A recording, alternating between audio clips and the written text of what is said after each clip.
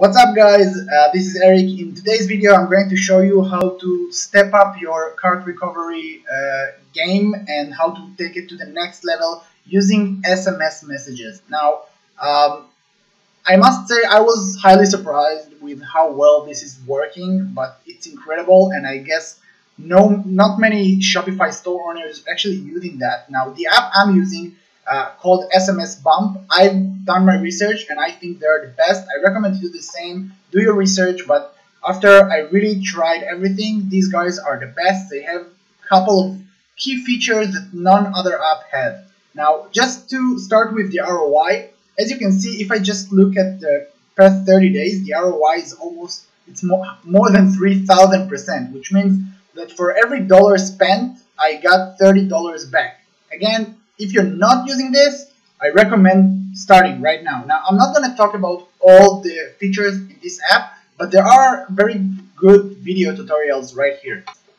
Okay, so one of the key features this app has that the other don't is the max uh, payment per SMS. So you're going to be charged uh, per SMS, and these apps give you the option to say, I, I'm not willing to pay over, let's say, I set it up for 60 cents, per, uh, yeah, 6 cents, I'm not willing to pay over 6 cents per SMS because for some some countries you're gonna pay like uh, like I don't know 60 cents per SMS and this is something that is super high and it's gonna take your ROI uh, down. So uh, this is something these apps give you. By the way SMSs to the US cost um, I think one and a half cents.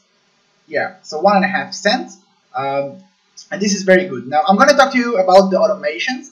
Um, so I have four automations that are running. It only takes five seconds to set everything up. Uh, the one is abandoned uh, checkout one hour after someone is abandoning their checkout. The second one is 10 hours after they abandon the checkout. The third one is 24 hours after someone abandoned the checkout.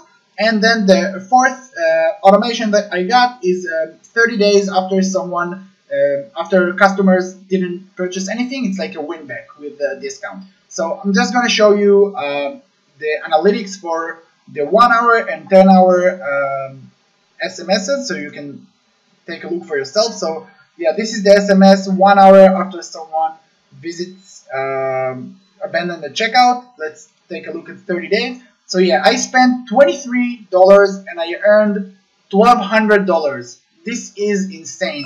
It's around 6,000% ROI. Again, this is something that you you better do. Okay, if you're not doing this, you're virtually losing money. Um, and yeah, the click-through rate is around 30%.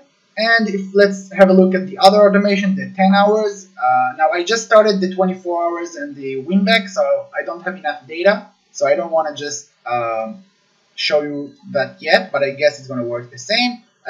For so this is the one after 10 hours, spent $23 and earned um, $451. Uh, the click-through rate is still pretty high. Again, recommend you check it out.